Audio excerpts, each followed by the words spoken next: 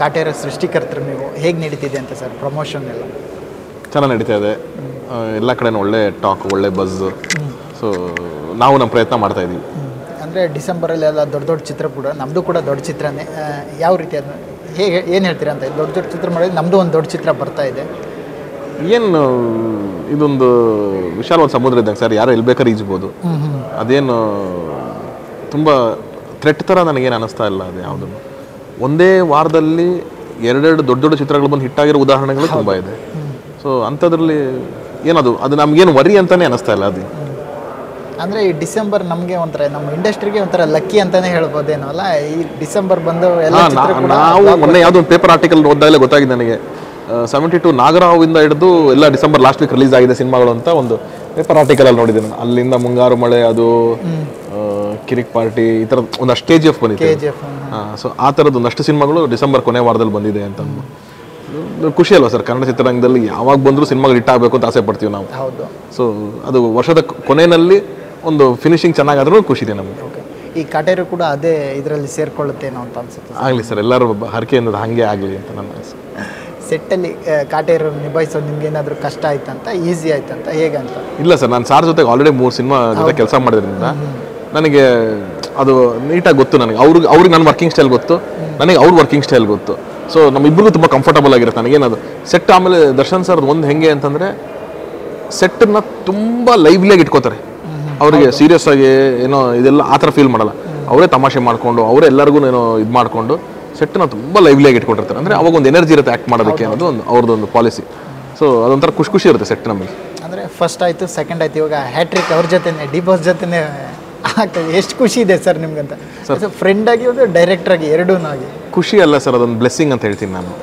ಕನ್ನಡ ಚಿತ್ರರಂಗದ one of the biggest super star ಮಾಡಿರೋದೇ ಮೂರು picture ಆ ಮೂರು ಸಿನಿಮಾನು ಜೊತೆಗೆ ನಿಂತಿದ್ದಾರೆ ಅಂತಂದ್ರೆ ಬಹಳನೇ ಖುಷಿ ಆಗುತ್ತೆ. ನಾನು ಅವ್ರಿಗೆ ಎಷ್ಟು ಗ್ರೇಟ್ಫುಲ್ ಆಗಿದ್ರು ಸಾಲದ ಅನ್ಸುತ್ತೆ. ಓಕೆ ಹೇಗೆ ರಾಬರ್ಟ್ ರಾಬರ್ಟ್ ಆದಮೇಲೆ ಮತ್ತೆ ಈ ಕಾಟೇರ ಸ್ಟೋರಿ ಹೇಳಿದಾಗ ಬಾಸ್ ಎಷ್ಟು ಎಕ್ಸೈಟ್ ಆಗಿದ್ರು ಅಂತ ನೀವು ಮತ್ತೆ ಅವ್ರ ಸ್ಟೋರಿ ಹೇಳಿದಾಗ ಈ ಕಾಟೇರ ಸ್ಟೋರಿ ಹೇಳೋಕ್ಕಿಂತ ಮುಂಚೆ ನಾವು ಸ್ವಲ್ಪ ಟೆನ್ಷನ್ ಆಗಿದ್ವಿ ಯಾಕಂದ್ರೆ ಈ ಥರದ್ದೇನೋ ಒಂದು ತುಂಬ ಯೂನಿಕ್ ಆಗಿ ತೊಗೊಂಡೋಗ್ತಾ ಇದ್ದೀವಲ್ಲ ಇದು ಓಕೆನಾ ಹೆಂಗೆ? ಏನು? ಅಂತ ನಮಗೆ ಸ್ವಲ್ಪ ಟೆನ್ಷನ್ ಇತ್ತೆ ಹೊರತು. ಅವ್ರಿಗೆ ಕತೆ ಹೇಳಿದ್ಮೇಲೆ ಅವ್ರು ಒಂದು ಸಿಟ್ಟಿಂಗಲ್ಲಿ ಅದನ್ನು ಓಕೆ ಮಾಡಿದ್ರು. ಅವ್ರ ಜಡ್ಜ್ಮೆಂಟ್ ಅಷ್ಟು ಸ್ಟ್ರಾಂಗ್ ಆಗಿತ್ತು. ಇಲ್ಲ, ಈ ಸಿನಿಮಾ ವರ್ಕ್ ಆಗುತ್ತೆ. ಇದು ಡಿಫ್ರೆಂಟ್ ಆಗಿದ್ರೂ ಪರವಾಗಿಲ್ಲ. ಮಾಡೋಣ ಬಾ ನಾವು ಅಂತ ಅವರು ಫಸ್ಟ್ ಸಿಟ್ಟಿಂಗಲ್ಲಿ ಅವರು ಓಕೆ ಮಾಡಿದ್ರು ನಮಗೆ. ಸೊ ಅದೇ ನಮಗೆ ಫಸ್ಟ್ ಶಕ್ತಿ. ಅಂದರೆ ಓಕೆ ನಾವು ಕರೆಕ್ಟ್ ರೂಟಲ್ಲಿ ಇದ್ದೀವಿ ಅಂತ ನಮ್ಗೆ ಅನಿಸಿದ್ದೆ ಅಲ್ಲಿಂದ ಅದು. ಅಂದರೆ ಹೇಗೆ ಹುಟ್ಟಿದ್ದತ್ತ ಈ ಕಾಟೇರ ಹುಟ್ಟಿದ್ದು ಹೇಗೆ ಅಂತ ಈ ಸ್ಟೋರಿ ಸರ್ ಇದು ರಾಬರ್ಟ್ ರೆಡಿ ಆಗಿತ್ತು ರಿಲೀಸ್ ಆಗಬೇಕಾಗಿತ್ತು ಬಟ್ ಅವಾಗ ಕೊರೋನಾ ಬಂದು ನಮಗೆಲ್ಲ ಸ್ಟಾಪ್ ಆಗಿತ್ತು. ಅವಾಗ ನಾನು ಗುರು ಶಿಷ್ಯರು ಅಂತ ಒಂದು ಸಿನಿಮಾನ ಪ್ರೊಡಕ್ಷನ್ ಮಾಡಬೇಕು ಅಂತ ಓಡಾಡ್ತಿದ್ದೆ. ಆ ಜರ್ನಿನಲ್ಲಿ ಜಡೇಶ್ವರ್ ನನ್ನ ಜೊತೆಗೆ ಇದ್ದರು ಸೊ ಅವಾಗ ನಾವು ಗುರು ಶಿಷ್ಯರೆಲ್ಲ ಮುಗ್ದಿತ್ತು ಇನ್ನೇನು ಅಂದಾಗ ನಾನು ದರ್ಶನ್ ಸರ್ದು ನೆಕ್ಸ್ಟ್ ವರ್ಕ್ ಮಾಡಬೇಕು ಅಂತ ವರ್ಕ್ ಮಾಡ್ತಿದ್ದೀನಿ. ಒಂದಷ್ಟು ಲೈನ್ಸ್ ಇದೆ ನೋಡಿ ಹಿಂಗೆ ಅಂತ ಅವಾಗ ಮಾತಾಡ್ತಾ ಇದ್ವಿ ಕೆಲವು ಲೈನ್ ಡಿಸ್ಕಷನ್ ನಡೀತಾ ಇತ್ತು. ಅಲ್ಲಿ ಜಡೇಶ್ ಅವರು ಸರ್ ಈ ಥರದೊಂದು ಘಟನೆ ನಡೆದಿದ್ದು ನನಗೆ ಗೊತ್ತಿದೆ. ಇದು ನೋಡಿ ಸರ್ ಏನಾದರೂ ಹೆಲ್ಪ್ ಆಗುತ್ತಾ? ಅಂತಂದಾಗ ತುಂಬ ಚೆನ್ನಾಗಿದೆ ಜಡೇಶ್ ಇದು ಇಟ್ಕೊಂಡು ಲೈನ್ ವರ್ಕ್ ಮಾಡೋಣ ಬನ್ನಿ ಅಂತಂದ್ಬಿಟ್ಟು. ಸೊ ಅಲ್ಲಿಂದ ಆ ಪ್ರೋಸೆಸ್ ಶುರುವಾಗಿದ್ದು. ಸೊ ಒಂದು ಮೇನ್ ಕಾಂಟ್ರಿಬ್ಯೂಷನು ಜಡೇಶ್ ಅವರು ಮಾಡಿದ್ರು ಈ ಸಿನಿಮಾ. ಅಂದರೆ ಟ್ರೂ ಸ್ಟೋರಿ ಹೇಳಕ್ಕೆ ಕೊಟ್ಟಿದ್ದೀರ ಅಂದರೆ ಆ ಆ ಘಟ್ಟದಲ್ಲಿ ನಡೆದಿರುವಂಥ ಒಂದು ರೈತರ ಬಗ್ಗೆ ಅಷ್ಟು ಹೇಳಕ್ಕೆ ಕೊಟ್ಟಿದ್ದಾಗ ಹೇಗಿತ್ತು ಅಂತ ಅದು? ಚಾಲೆಂಜಿಂಗ್ ಆಗಿತ್ತು ಸರ್ ನಮಗೆ ತುಂಬ ರಿಸರ್ಚ್ ಬೇಕಾಗಿತ್ತು. ಯಾಕಂದರೆ ಅದು ಡಾಕ್ಯುಮೆಂಟೈಸೇಷನ್ ಆಗಿರಲಿ ಅದು ಘಟನೆಯ ವಿವರಗಳಾಗಿರಲಿ ತುಂಬ ಈಸಿಯಾಗಿ ಸಿಗ್ತಾ ಇರಲಿಲ್ಲ. ಸೊ ಅದ್ರ ಹಿಂದೆ ಒಂದು ದೊಡ್ಡ ರಿಸರ್ಚ್ ಆಯಿತು ಆ್ಯಂಡ್ ನನಗೊಂದು ಅದ್ಭುತವಾದ ಡೈರೆಕ್ಷನ್ ಡಿಪಾರ್ಟ್ಮೆಂಟ್ ಇತ್ತು. ಸೊ ಅವರು ಅಷ್ಟು ಬ್ಯೂಟಿಫುಲ್ ಆಗಿ ಅದನ್ನೆಲ್ಲ ಹುಡುಕಿ ಒಂದು ಡೀಟೇಲ್ ಮಾಡಿ ಒಂದು ಅದ್ರ ಬಗ್ಗೆ ಒಂದು ಟೆಕ್ಸ್ಟ್ ಬುಕ್ ಥರ ಮಾಡಿಕೊಂಡು ಆಮೇಲೆ ನಾವು ಅದು ಫೈನಲ್ ಮಾಡಿದ್ದು. ಈ ಕತೆ ಮೇಲೆ ನೀವು ಜಡೇಶ್ ಅವರು ಒಂದು ಸಿಕ್ಸ್ ಮಂತ್ ವರ್ಕ್ ಮಾಡಿದ್ದೀರಿ ಅಂತ ಹೇಳ್ತಿದ್ರು. ಕತೆ ಅದ್ರ ಬಗ್ಗೆ ಹೇಳೋದಾದ್ರೆ ಏನು ಹೇಳ್ತೀರಾ ಅಂತ? ಸಿಕ್ಸ್ ಮಂತ್ ಅಂದರೆ ಆ ಲಾಕ್ಡೌನ್ ಪೀರಿಯಡಲ್ಲಿ ಶುರುವಾಗಿದ್ದು ನಮ್ಗೆ ಅಲ್ಲಿಂದ ಯೂಶಲಾಗಿ ಏನಾಗುತ್ತೆ ಒಂದು ಕಥೆಯದು ಒಂದು ಲೈನು ಒಂದು ಐಡಿಯಾ ಸಿಕ್ಕಿದಾಗಲೇ ಡಿಸ್ಕಸ್ ಮಾಡಿಬಿಡ್ಬೋದು.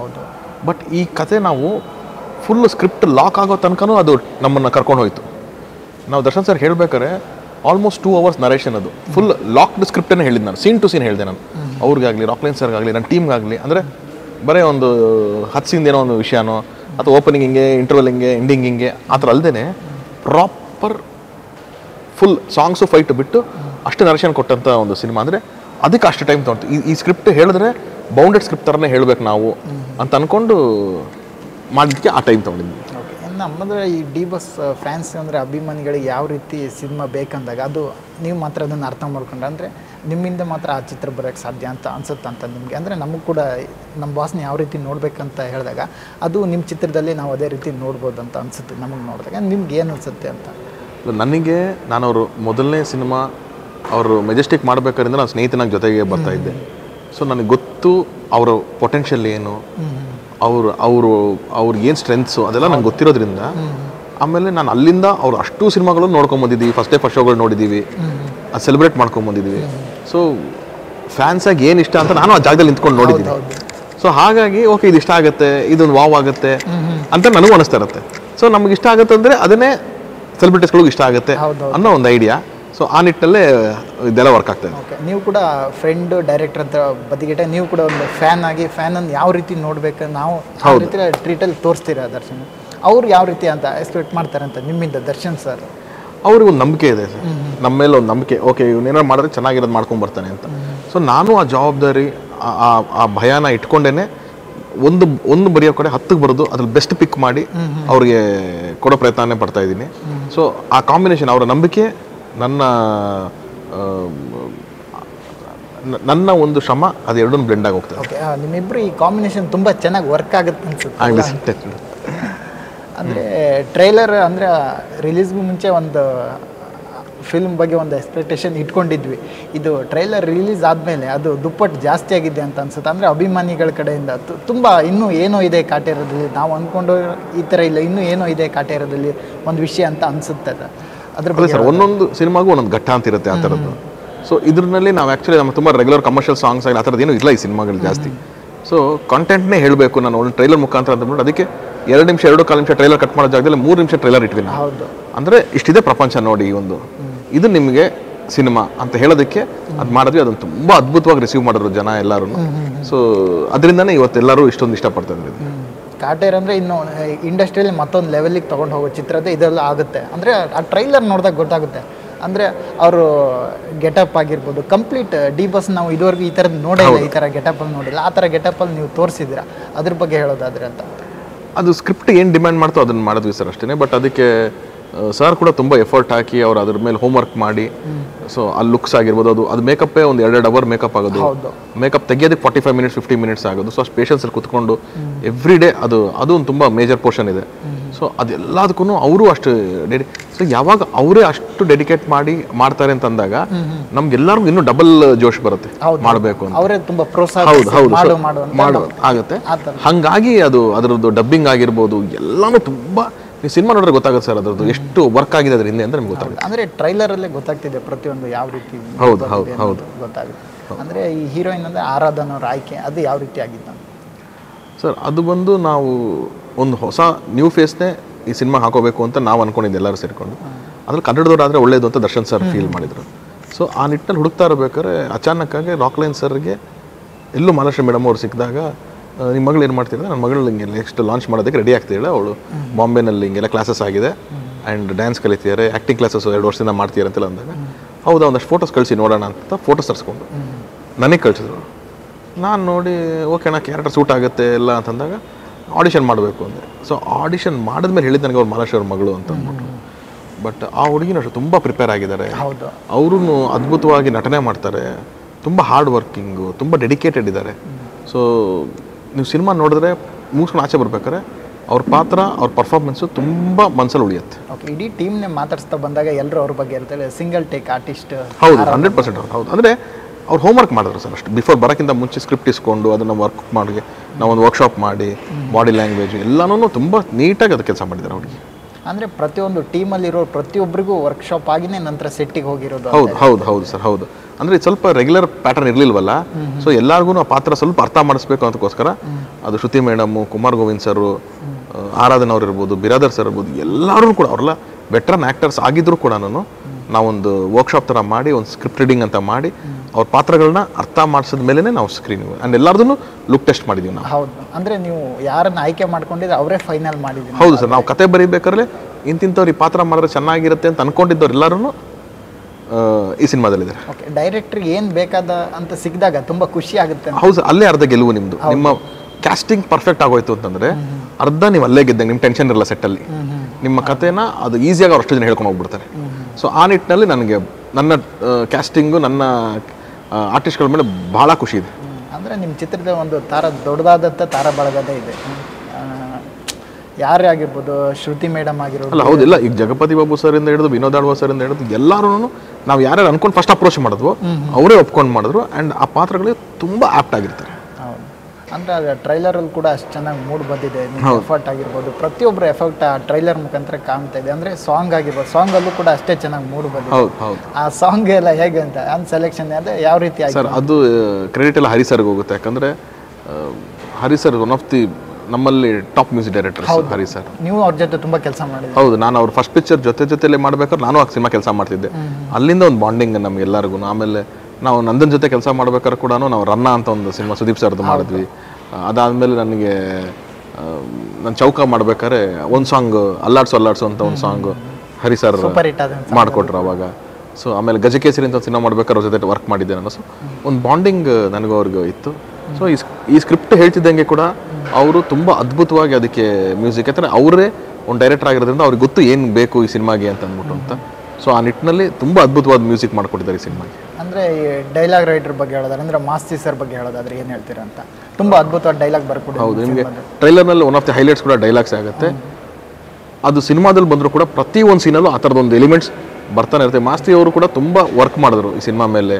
ಒಂದಷ್ಟು ಬುಕ್ಸ್ಗಳನ್ನ ಸ್ಟಡಿ ಮಾಡೋದು ಏನು ಪದಗಳು ಯೂಸ್ ಮಾಡ್ತಾರೆ ಏನೇನು ಲೈನ್ಸ್ ಯೂಸ್ ಮಾಡಬೇಕು ಅಂತ ಅವರು ತುಂಬ ಎಫರ್ಟ್ ಹಾಕಿ ಅದ್ರ ಮೇಲೆ ಮಾಡಿದ್ದಾರೆ.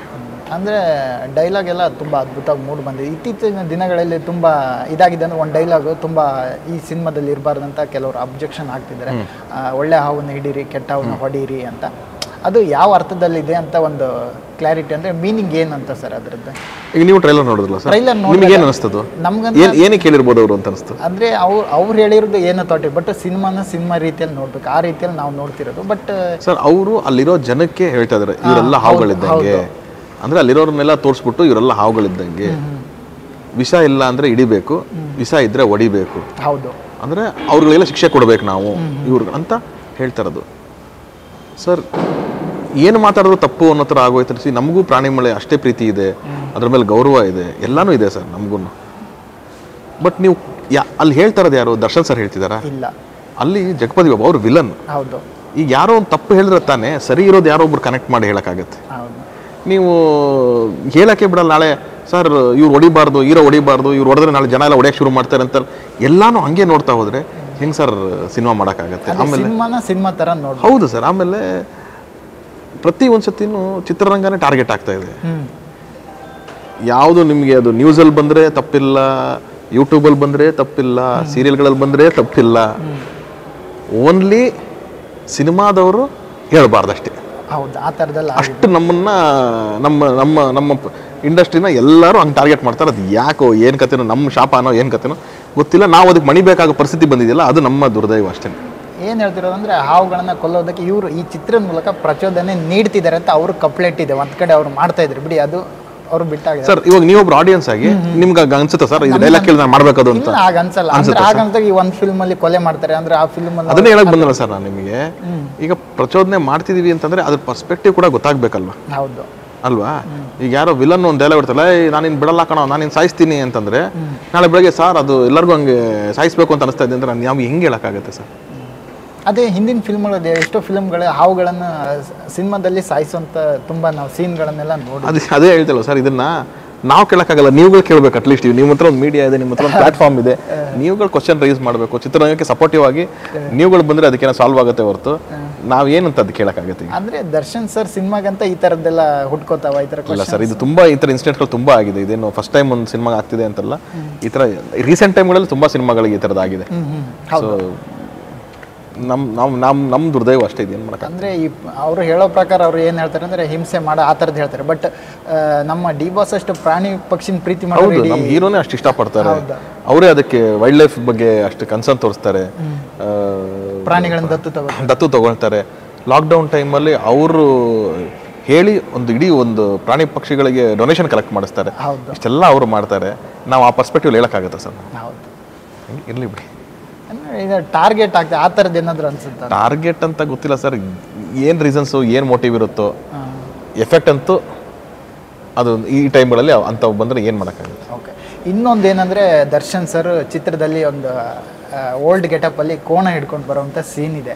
ಎಲ್ಲ ಅಭಿಮಾನಿಗಳು ಏನು ಹೇಳ್ತಿದ್ದಾರೆ ಅಂದರೆ ಇದು ಕಾಟೇರ ಟೂದ ಒಂದು ಹಿಂಟ್ ಕೊಟ್ಟಿದ್ದಾರೆ. ಆ ಥರದ್ದೇನಲ್ಲ ಸರ್ ಕಾಟೇರ ಟೂ ಹಿಂಟ್ ನಾನು ಯಾಕೆ ಟ್ರೈಲರ್ನಲ್ಲಿ ಕೊಡಬೇಕು? ಅಲ್ಲ, ಏನು ಸಿನಿಮಾದಲ್ಲಿ ಬಂದಿದ್ರೆ ಆ ಥರದ್ದೇನೋ ಅಭಿಮಾನಿಗಳು ಇಲ್ಲ ಇಲ್ಲ ಇಲ್ಲ ಅದೇನಿಲ್ಲ. ಇದು ಪ್ರಾಮಿನೆಂಟ್ ಆಗಿ ಅದು ಆ ಪಾತ್ರ ಕೂಡ ಒಂದು ಬರುತ್ತೆ. ಅದು ತುಂಬ ಒಂದು ಸ್ಕ್ರೀನ್ ಸ್ಪೇಸ್ ಇದೆ ಆ ಪಾತ್ರಕ್ಕೆ. ಓಕೆ ದರ್ಶನ್ ಸರ್ ಬಗ್ಗೆ ಒಂದು ಮಾತು ಹೇಳೋದಾದ್ರೆ ಏನು ಹೇಳ್ತೀರಾ ಅಂತ?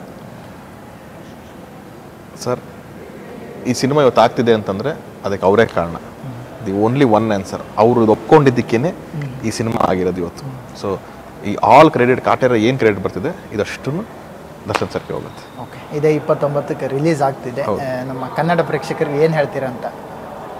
ಸರ್ ವರ್ಷದ ಎಂಡಲ್ಲಿ ಬರ್ತಾ ಇದೆ ಒಂದು ಸೆಲೆಬ್ರೇಷನ್ ಈ ಚಿತ್ರನೂ ಸೆಲೆಬ್ರೇಟ್ ಮಾಡೋದಕ್ಕೆ ಒಂದು ಅವಕಾಶ ಇರುವಂಥದ್ದು. ನಮ್ಮ ಮಣ್ಣಿನ ಕತೆ ನಮ್ಮ ಸೊಗಡಿನ ಕತೆ.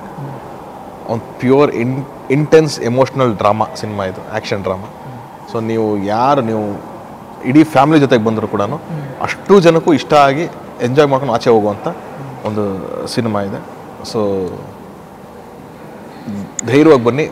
ಇಯರ್ ಎಂಡನ್ನು ಸೆಲೆಬ್ರೇಟ್ ಮಾಡ್ತಾ ಎಂಡ್ ಮಾಡೋಣ. ಹೊಸ ವರ್ಷನ ಸೆಲೆಬ್ರೇಟ್ ಮಾಡ್ತಾ ವೆಲ್ಕಮ್ ಮಾಡೋಣ ಡಿ ಬಾಸ್ ಫ್ಯಾನ್ಸ್ಗೆ ಒಂದು ಹಬ್ಬ ಅಂತಲೇ ಹೇಳ್ಬೋದು. ಈ ಹಂಡ್ರೆಡ್ ಪರ್ಸೆಂಟ್ ಸರ್ ನಾನು ರಾಬರ್ಟ್ ನೋಡಿ ಎಷ್ಟು ಎಂಜಾಯ್ ಮಾಡಿದ್ರು. ಅದಕ್ಕಿಂತ ಜಾಸ್ತಿ ಈ ಸಿನಿಮಾ ನಿಮಗೆ ಖುಷಿ ಕೊಡುತ್ತೆ ಅಂತ ನಾನು ನಂಬಿದ್ದೀನಿ. Thank you thank you S S TV cinema ಜಗತ್ತಿನ ಕ್ಷಣ ಕ್ಷಣದ ಸುದ್ದಿಯೊಂದಿಗೆ.